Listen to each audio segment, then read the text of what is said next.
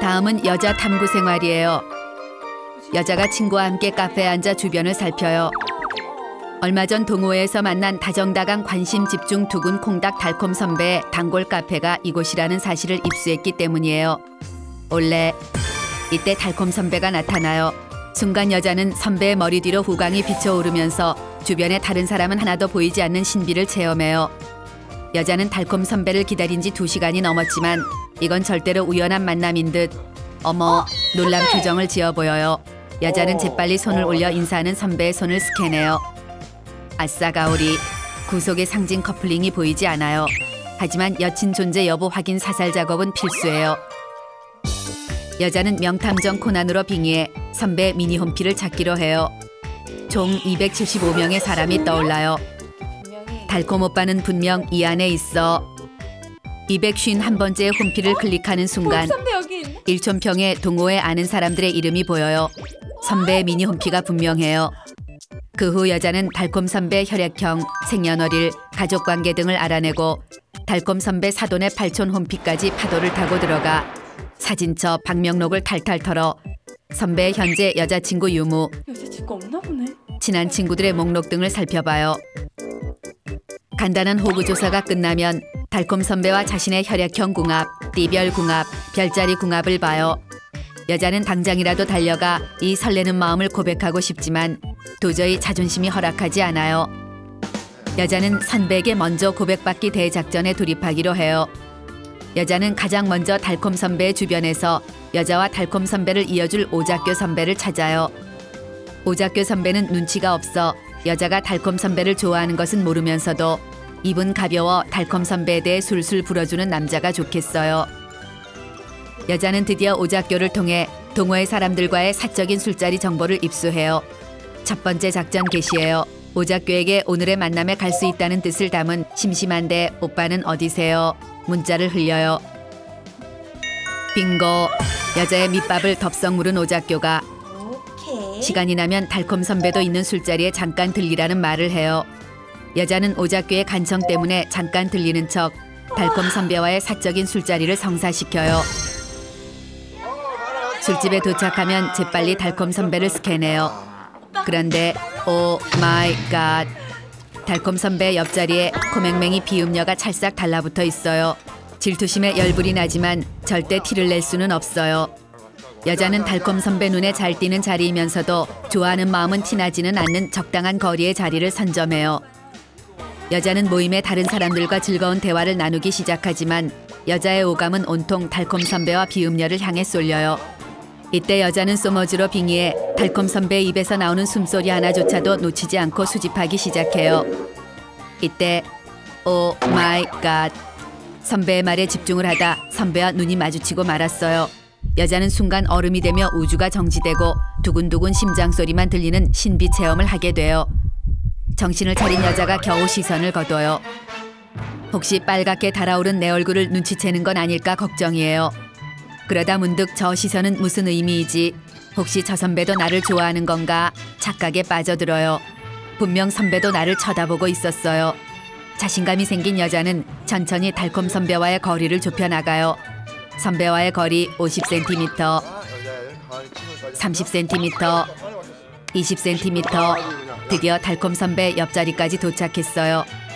달콤 선배와의 거리 10cm. 은은한 달콤 선배의 향수 냄새가 아찔해요.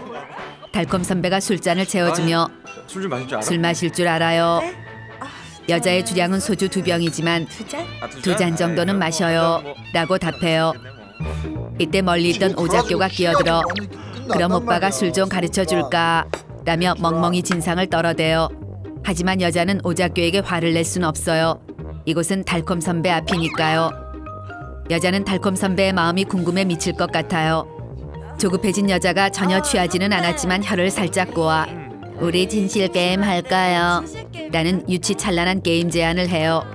질문은 난 요즘 관심이 가는 이성이 있다예요. 막상 질문을 던져놓자 여자의 심장이 터져버릴 것만 같아요. 하나. 드디어 달콤 선배의 손가락이 올라가요.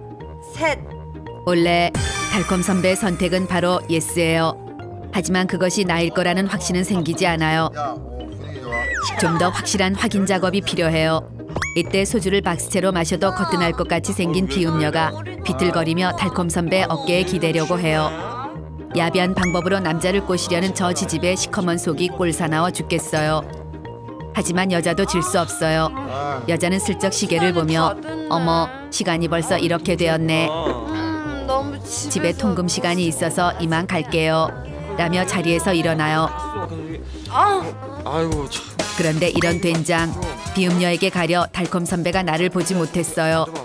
좀 더 과장된 헐리우드 액션을 추가해 달콤 선배 앞에서 휘청거려요. 아 어지러. 드디어 달콤 선배가 여자를 보고 말았어요.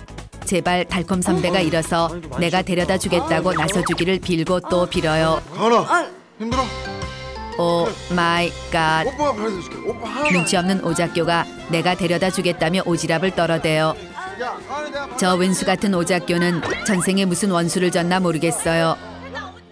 여자는 다음 단계로 달콤 선배에게 데이트 신청을 유도하기로 해요. 달콤 선배가 자주 들어오는 메신저 시간대에 로그인한 뒤 대화명을 감성 충전 영화 고파요로 바꿔둬요. 영화 보여준다고 했으니까. 영화 보러 가자는 데이트 신청의 강렬한 힌트예요.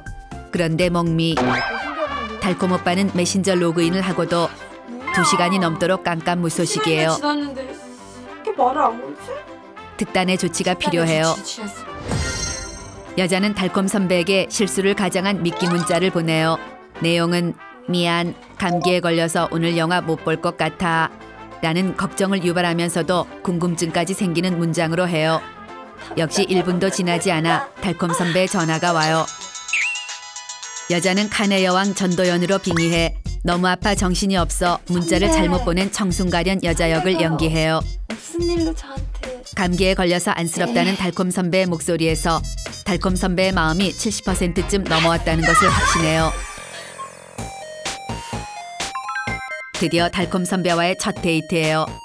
여자는 그간 수집한 달콤 선배의 이상형 스타일에 맞춰 물기 머금은 촉촉 피부에 첫사랑에 빠진 수줍 볼터치를 한 뒤 금방이라도 별이 쏟아질 것 같은 눈화장을 3시간에 걸쳐 공들여 해요.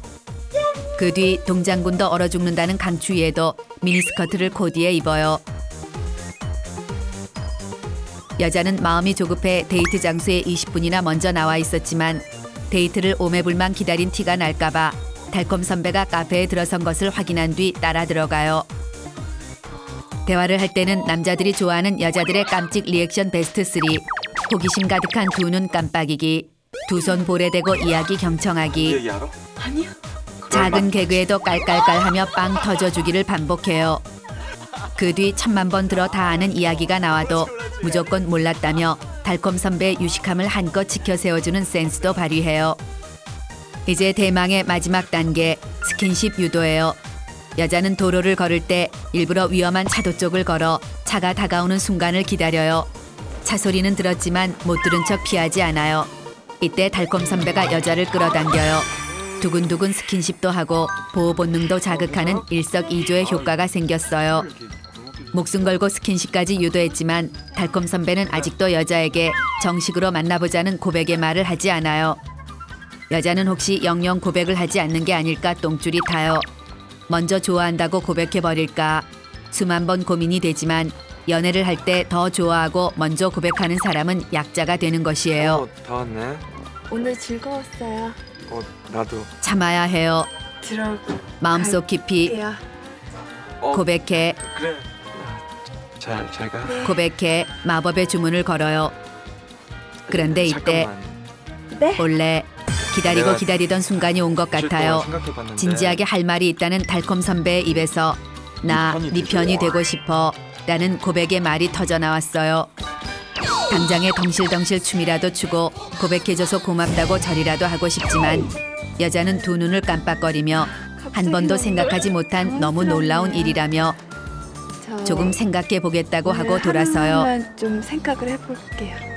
아 그래 놀랬지. 연애의 주도권을 잡기 위해서는 하루 정도 달콤 오빠의 애를 태우는 게 좋을 것 같아요.